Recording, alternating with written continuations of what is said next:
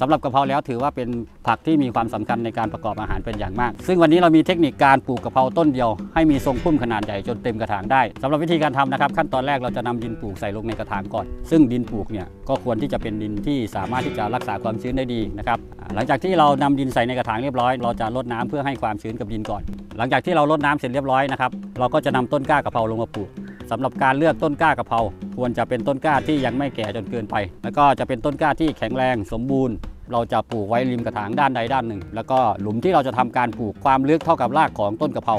เมื่อเราลงปลูกเราควรกดให้แน่นนิดนึงปลูกเสร็จเรียบร้อยเราจะทำการโน้มต้นกะเพราลงตรงกลางกระถางใช้ไม้เสียบลูกชิ้นสองไม้เพื่อป้องกันไม่ให้ต้นกะเพราดีดตัวกลับ ควรที่จะโน้มลงไปให้ห่างจากพื้นประมาณ 1-2 นิ้ว จากนั้นเราก็จะทำการรดน้ำอีกรอบ ในช่วงระยะแรกหลังจากที่เราปลูกไปแล้ว ควรที่จะเก็บไว้ในที่ร่มลำไรหรือที่ร่มนะครับอย่าเพิ่งให้โดนแดดครับนี่ก็จะเป็นต้นกะเพราตัวอย่างที่เราปลูกแบบทำการโน้มนะครับลักษณะที่เราโน้มลงมาก็คือโคนเขาจะอยู่ด้านนี้ ยอดหลักเดิมจะอยู่ด้านนี้ สังเกตจากลักษณะของยอด สังเกตจากลักษณะของใบ คือเขาจะมียอดค่อนข้างที่จะเยอะ แล้วก็ใบก็จะมีความสมบูรณ์ ซึ่งเทคนิคนี้สามารถที่จะใช้ในการปลูกกะเพราได้ทุกสายพันธุ์นะครับสำหรับประโยชน์ของการปลูกกะเพราด้วยวิธีนี้นะครับจะทำให้ทุกกิ่งเนี่ยมีการเจริญเติบโตอย่างสม่ำเสมอเท่าเทียมกัน ไม่แน่นจนเกินไปทำให้เราได้ยอดกะเพราเยอะได้ผลผลิตที่สูงขึ้นนะครับไม่เกิดสภาวะการแย่งอาหารกัน เทคนิคการปลูกกะเพราต้นเดียวให้เต็มกระถางเทคนิคนี้รับรองได้ผลแน่นอนครับ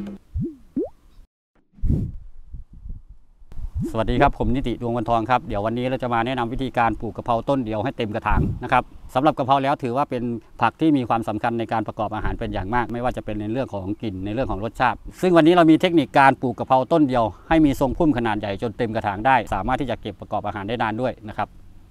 สำหรับอุปกรณ์นะครับสิ่งแรกเลยก็คือกระถางนะครับวันนี้เราใช้กระถางพลาสติกเบอร์ 11 แล้วก็จะมีดินปลูก ดินปลูกเราใช้เป็นดินผสมกับใบก้ามปู แล้วก็จะมีต้นกล้ากะเพราหนึ่งต้น ไม้เสียบลูกชิ้น 2 ไม้ นอกจากนั้นก็จะมีอุปกรณ์เสริมก็คือน้ำไว้รดนะครับ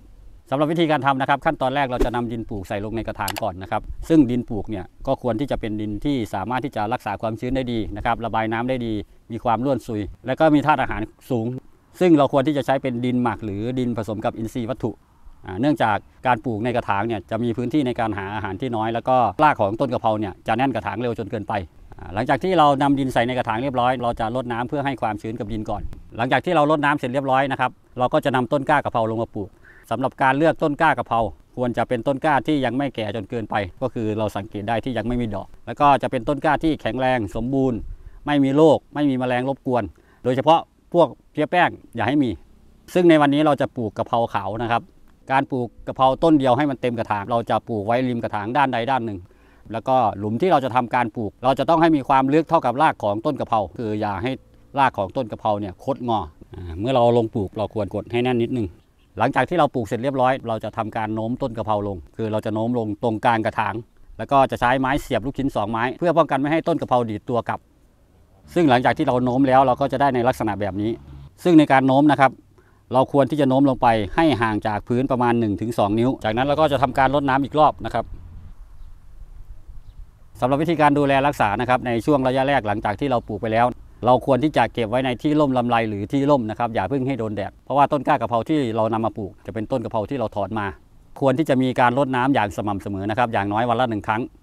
จากนั้นใช้เวลาประมาณ 3 สัปดาห์ เราค่อยมาตัดแต่งทรงพุ่ม เพราะว่ายอดของกะเพราไม่ว่าจะเป็นยอดหลัก หรือยอดที่เกิดจากกิ่งแขนงนะครับเขาจะตั้งขึ้นตรง ให้เรามาตัดแต่งทรงพุ่มให้มันมีความสวยงาม แล้วก็ให้มันเต็มกระถางให้ได้ สำหรับวิธีการให้ปุ๋ยนะครับ เราสามารถที่จะให้ปุ๋ยได้ตั้งแต่ต้นกะเพราเริ่มฟื้นตัว สามารถที่จะให้เป็นปุ๋ยพวกปุ๋ยอินทรีย์ปุ๋ยเคมีก็สามารถให้ได้เช่นเดียวกัน ในช่วงจังหวะที่เราตัดแต่งยอด ตัดแต่งทรงพุ่มเนี่ยเราสามารถที่จะนำไปประกอบอาหารได้เลย หลังจากนั้นก็ใช้เวลาประมาณ 2 เดือน ต้นกะเพราเราจะเต็มกระถางมีทรงพุ่มที่สวยงาม แล้วก็มีการเจริญเติบโตที่ดีด้วย ครับนี่ก็จะเป็นต้นกะเพราตัวอย่างที่เราปลูกแบบทำการโน้มนะครับปลูกต้นเดียวให้เต็มกระถางเราจะสังเกตเห็นว่าทรงพุ่มเนี่ย สามารถที่จะอยู่ได้เต็มกระถาง เพราะว่าเราสามารถที่จะเก็บไปประกอบอาหารได้เรื่อยๆนะครับลักษณะที่เราโน้มลงมาก็คือโคนเขาจะอยู่ด้านนี้ แล้วก็ยอดเดิมนะครับ ยอดหลักเดิมจะอยู่ด้านนี้ จะเป็นกิ่งแขนงที่แตกออกมาจากลำต้น